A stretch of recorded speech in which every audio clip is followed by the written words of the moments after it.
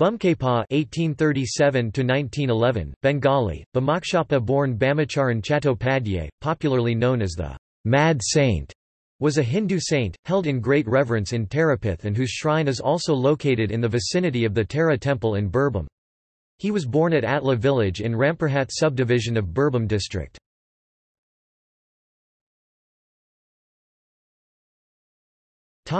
Worship Bamakhepa, goddess Tara's ardent devotee lived near the temple and meditated in the cremation grounds. He was a contemporary of another famous Bengali saint Ramakrishna. At a young age, he left his house and came under the tutelage of a saint named Kailashpati Baba, who lived in Tarapith.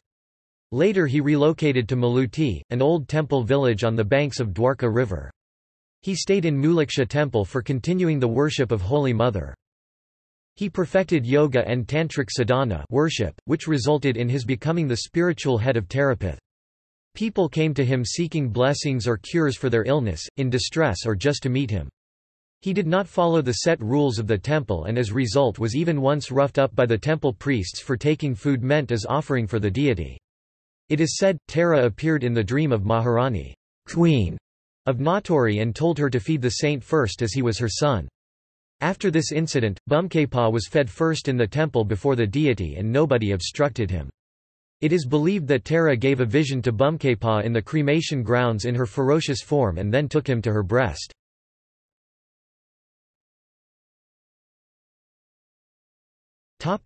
Popular culture Beginning in 2007, a teleserial named Sadhak Bamakhepa about Bamakhepa ran on television in Bengal.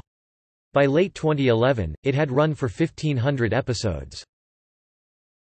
Notes